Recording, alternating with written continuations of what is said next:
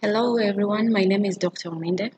To continue with our series on the cerebrum, so um, I'll begin at the where we had left previously. So we were discussing on the arcuate fasciculus, and we said that the arcuate fasciculus is a tract of white matter that connects the Broca's area to the Wernicke's area, and this goes this tract goes through the temporal lobe, parietal, and frontal lobe. Remember, the Broca's area is at the frontal lobe, the inferior frontal gyrus, while the Wernicke's area is on the parietal lobe at the supramarginal gyrus. So this connection between Broca's and Wernicke's area helps um, to coordinate a comprehensible speech because Broca's is for motor speech while Wernicke's is for um, sensory speech. So that just shows you the location of the arcuate fasciculus.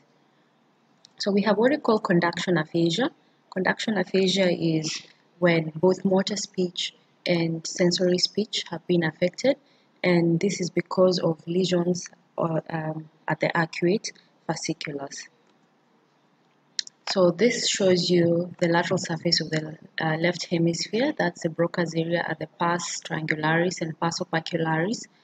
And that's the Wernicke's area at the supramarginal gyrus and part of the temporal lobe. So that connection is what we call the arcuate fascicular um, white matter tract.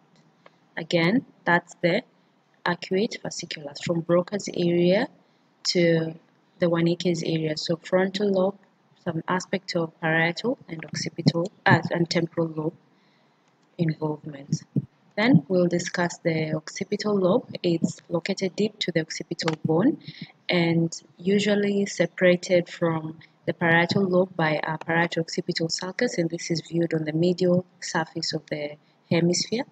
And uh, this parietal occipital sulcus forms a Y shape with the calcarine sulcus as we had discussed before. And the calcarine sulcus divides the occipital lobe into a dorsal cuneus and a ventral lingual gyri. The calcarine sulcus um, again joins the parietal occipital sulcus in a Y-shaped formation. So this is your parietal occipital fissure that divides occipital from parietal lobe, and this is the calcarine sulcus that divides the ventral lingual from the dorsal cuneate gyri. Then the banks of the calcarine sulcus form the primary visual cortex, which is also called the striate cortex. And as you move away from the striate cortex, the neighboring cortex forms the secondary visual cortex, which is a psychovisual area. So again, that's your occipital lobe, that's the parietal lobe. So the primary visual um, cortex is at the banks of the calcarine sulcus, while the neighboring cortex forms the visual association cortex. The temporal lobe lies inferior to the lateral sulcus. So this is the lateral sulcus of Sylvius. Inferior to it is the temporal lobe.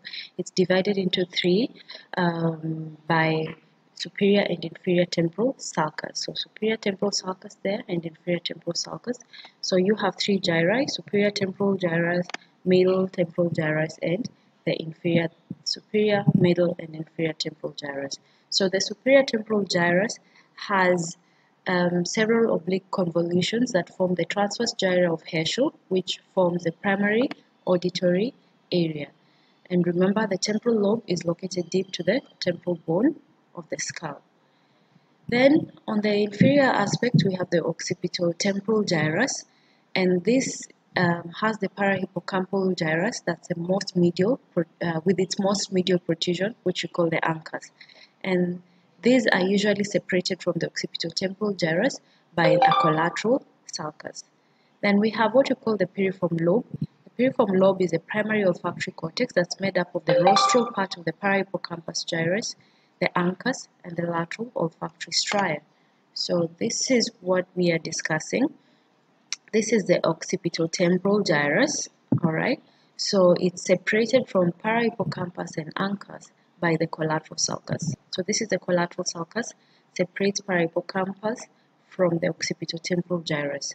And the medial extension of the parahippocampus is the uncus.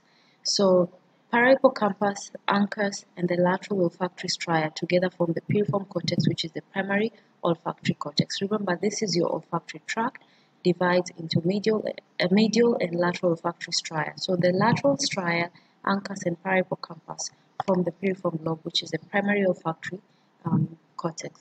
So the functions of the olfactory lobe include, uh, we have the primary auditory center at the transverse gyra of Heschl on the superior temporal gyrus. The remaining cortex from the auditory association area. Then the parahippocampus uh, is a component of the limbic system.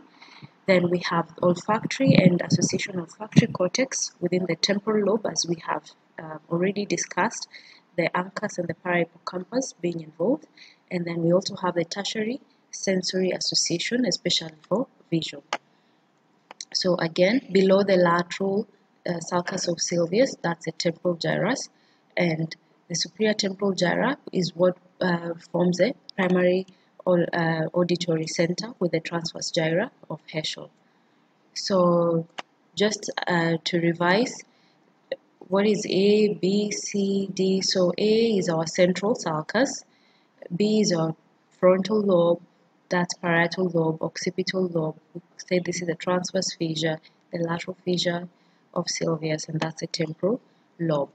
Okay, so A is central sulcus, B is frontal lobe, C is lateral fissure of Sylvius, D is temporal lobe, E is the transverse fissure, F is occipital lobe, and G is the parietal lobe. Again, so if this is our central sulcus, that's the precentral gyrus, which is primary motor. That is a post-central gyrus, which is primary sensory area. All right, that's the Broca's area at the pars triangularis and pars opercularis on the inferior frontal gyrus for motor speech. That's a lateral sulcus of Sylvius with the superior temporal gyrus, which forms the primary auditory center at the transverse gyri of Heschl. All right, that's the orbital gyrus, the occipital lobe, that's the um, inferior parietal lobule with the supramarginal gyrus, which is the primary sensory, so it extends to this aspect. So primary, uh, sorry, uh, sensory speech area, that's primary sensory area, the post-central gyrus, that's the superior parietal gyrus. So again, A is a primary motor at the pre-central gyrus. B is Broca's area at the uh, pars triangularis and pars opercularis. C is the orbitofrontal cortex at the um, orbital gyrus. D is the primary olfactory um, cortex. Okay, remember. Then E is the primary auditory uh, cortex at the transverse gyre of Heschl. F is the Wernicke's area, the supramarginal gyrus. G is the primary visual cortex. We say the banks of calcarine sulcus. H is the visual association area, the neighboring cortex to the primary visual cortex. I is the primary gustatory area, deep to the lateral sulcus towards the parietal lobe. We said the gustatory cortex is the insular parainsular cortex. J is the somatosensory association cortex, and K is the primary somatosensory cortex, which is the primary sensory area at the post-central gyrus of the parietal lobe. Homunculus generally is an inverted map of the cerebral cortex and um, usually on both sensory and motor gyri where the body is represented and that's how it looks like. So the most sensitive parts that require fine control have larger representation. As you can see, the face and the hands have larger control and then the upper limb is on the superior aspect while the middle surface of the brain we have the representation of the lower limb. We call that the paracentral lobule. The parts of the um, pre-central and post-central gyrus on the middle surface of the hemisphere is the paracentral lobule where the lower limb is represented. So remember, inverted map of the body on the surface of the cerebral cortex is the homunculus and parts of the body with fine and more sensitive movement occupy have a larger representation of the cerebral cortex. So again, that's the homunculus. So you can appreciate the paracentral lobule on the medial aspect of the brain where the lower limbs are represented. So we have various clinical um, correlates of the cerebral cortex. So lesions in the sensory association cortex uh, will lead to what we call agnosia, and this is where the general awareness of the general senses are affected. Then we have astereognosia, which is hemi-neglect, where a person lacks the recognition of the opposite side of the body. Then the visual association cortex uh, lesions can cause visual agnosia, whereby there be disorientation and loss of coordination of eye movement. Bilateral lesions will cause prosopagnosia, where there is impaired recognition of previously known familiar faces. And lesions of the primary motor area can cause voluntary paralysis and spasticity of muscle. Remember, um, lesions of primary motor area will cause what we call upper motor neuronal lesions. Then we have apraxia, where you have impairment or in performance of learned movement. And in the absence of paralysis, when there is impairment that involves writing, we call that agraphia. Then we've talked about um, the speech areas. So if you have a lesion in the speech area, we call it aphasia. So in the sensory speech area, you get receptive aphasia, that's the Wernicke's area. Broca's area, which is motor speech, if you have a lesion there, gives you expressive aphasia, while lesion of the arcuate fibers that connect both Wernicke's and Broca's will give you global aphasia. Alexia is the loss of ability to read, and that can occur with or without aphasia, while dyslexia is incomplete alexia, where there is inability to read more than a few lines with understanding. So in the next lecture, we are going to discuss about the white matter. Thank you very much.